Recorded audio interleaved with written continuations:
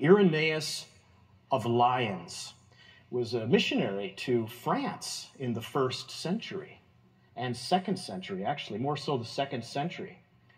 And he wrote a treatise called Against Heresies.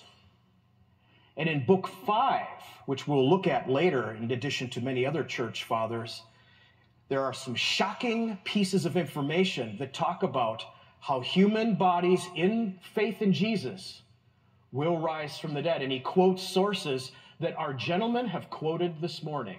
He actually quotes those passages from 1st and 2nd Thessalonians, 1st uh, Corinthians chapter 15, Matthew chapter 24, Daniel chapter 9, verse 24 through 27. All of that stuff Irenaeus is quoting in book 5, and he's making a case uh, that Christians are in fact going to be resurrected, and their bodies will go to heaven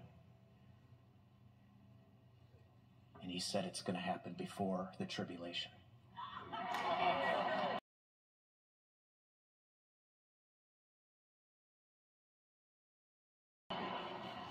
Irenaeus is the disciple of Polycarp. Polycarp is the disciple of John. It's pretty good.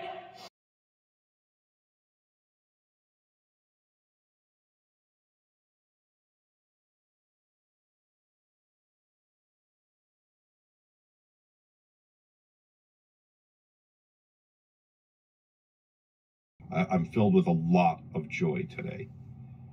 But I realize that we are living in very perilous times. And I realize also that Jesus is coming soon and that he wants us to trust him with everything. And when I say Jesus is coming soon, I'm talking about the pre tribulation rapture of the church. So, the title of this video is something like is this the highest watch period ever?